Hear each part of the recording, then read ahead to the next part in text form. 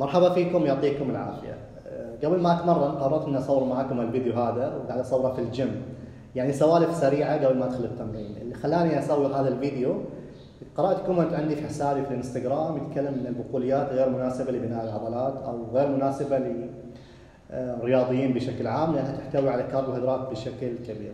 طبعا للمتابعين الجدد أغلب المواضيع تكلمت عنها في حسابي في الإنستغرام مخزنة عندي في ال highlights أو موجودة على شكل بوستات.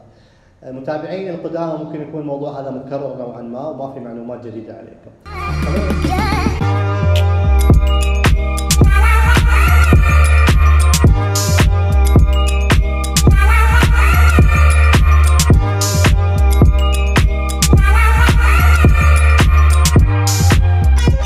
أنا دائما أقرأ في الكومنت عندي إنه ما يقدروا يتبعوا النظام الغذائي النباتي، ليش؟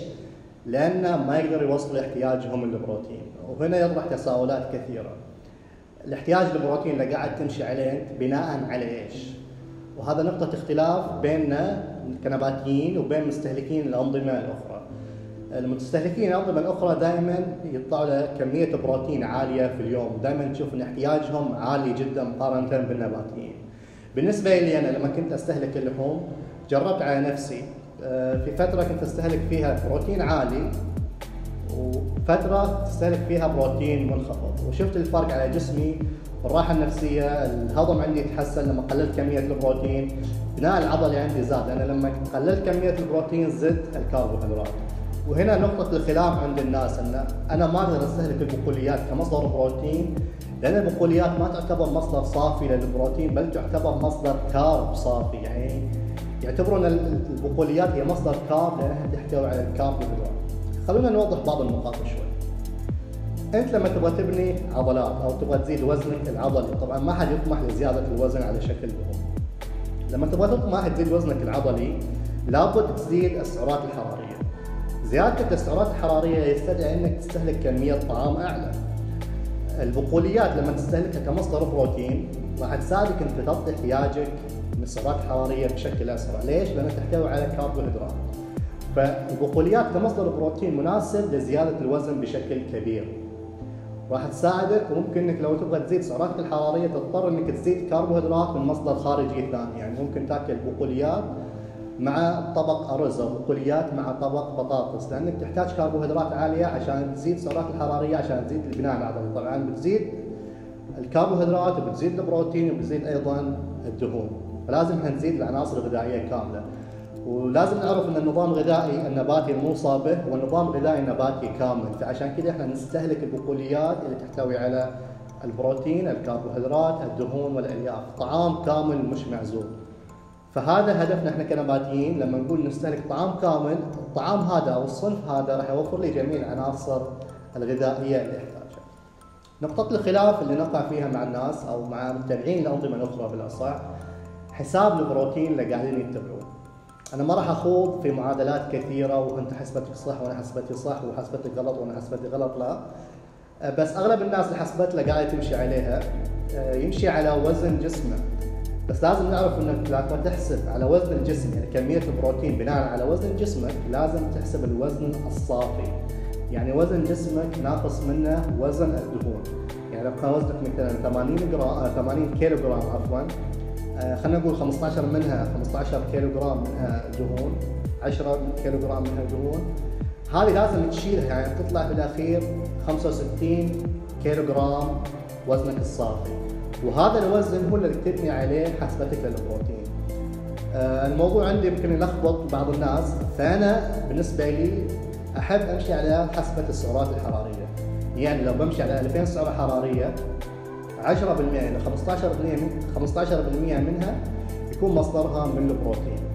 أريح لي وأسهل لي بكثير. ومؤخرا صرت ما أحسب يعني ليش اقعد أضيع وقتي أحسب كم كمية البروتين اللي قاعد آكلها، كم كمية الكربوهيدرات، كم كمية الدهون، لا، صرت آكل طعام كامل وأشوف إن الفائدة يعني جسمي قاعد يستفيد. ومو قاعد أحد نفسي بالسعرات الحرارية، بالعكس آكل لين ما أشبع. آه، ما وصل التخمه آه، وقت لو جيت أرجع آكل طعام كامل سواء فاكهة، خضروات، آه، بقول، أي شيء يشبعني بس يكون طعام كامل. أحاول قد ما أقدر إني أبعد عن الاطعمه المعزولة. المفروض أنت كشخص نباتي ما تخاف من كمية الكربوهيدرات اللي قاعد تستهلكها. ليش؟ لأنه المفروض تستهلك الكربوهيدرات بشكلها الكامل الحبوب بشكلها الكامل والبقوليات والخضروات والفواكه البذور والمكسرات. لو كلها تاكلها باعتدال راح ينزل وزنك. طبعا مع ممارسه التمارين الرياضية. آه، بس في لبس عند بعض الناس يعني البعض ياكل دونات يعتبرها مصدر كربوهيدرات. لا لازم نعرف إن الطعام ما يحتوي على عنصر غذائي واحد فقط. يعني الدونات فيها سعرات حرارية من الدهون أعلى من الكربوهيدرات وممكن فيها بروتين قليل فهي كمية عناصر غذائية لكن السعرات الحراريه أعلى شيء مصدرها من الدهون. فلازم ننتبه إلى الموضوع هذا. آخر شيء نتكلم عنه هو التنشيف أو مرحلة التنشيف كثير تجيني تساؤلات علي أنا كيف انشف نظام غذائي نباتي أول شيء شيء مهم نفرق بين التنشيف وخسارة الدهون أو خسارة الوزن. يعني مرحلة التنشيف هي مرحلة ما تمر فيها بدون ما تمر في عملية خسارة الدهون. يعني من المفترض عشان صح المعلومة عند بعض الناس اللي تبغى تدخل في التنشيف تنشي... خسارة الدهون أول شيء إنك تخسر الكتلة الدهنية اللي أنت كونتها في مرحلة البالكينج في مرحلة البناء العضلي أو زيادة الوزن العضلي. تيجي بعدها لمرحلة التنشيف، مرحلة التنشيف زي خلينا نقول هي زي التشطيب المرحلة النهائية إنك تخسر الكمية الصعبة من الدهون في الأماكن المحددة أو كمية الدهون اللي صعب تخسرها وتقلل كمية السوائل. طبعا المرحلة هذه يخوضوها لاعبين كمال أجسام اللي يخوضوا منافسات. فنشوف يمروا في مرحلة تنشيف آخر أربعة ثمانية أسابيع قبل البطولة أو يمكن بعضهم 12 أسبوع. بس ما يوصل للمرحلة هذه اللي هو خاسر دهون يعني تشوفه خاسر دهون وباني كتلة عضلية يعني البعض يمكن توه قاعد يتمرن يقول لك أنا أبغى أنشف طيب أنت ما في كتلة عضلية تنشف على إيش؟ وإيش تبغى تطلع في الأخير؟ هيكل عظمي؟ لا لازم أول شيء نبني كتلة عضلية إذا بنيت كتلة عضلية وزادت عندك نسبة الدهون قلل نسبة الدهون وبعدين تشوف جسمك لو تحب تنشف أو لا. مرحلة التنشيف هذه لازم نعرف إنها مرحلة مؤقتة يعني ما نشوف نحن لاعبين كمال أجسام يقول لك أنا راح أنشف طول السنة لا. لأن التنشيف هذه فترة متعبة جدا ومرهقة للاعب اللي ينافس.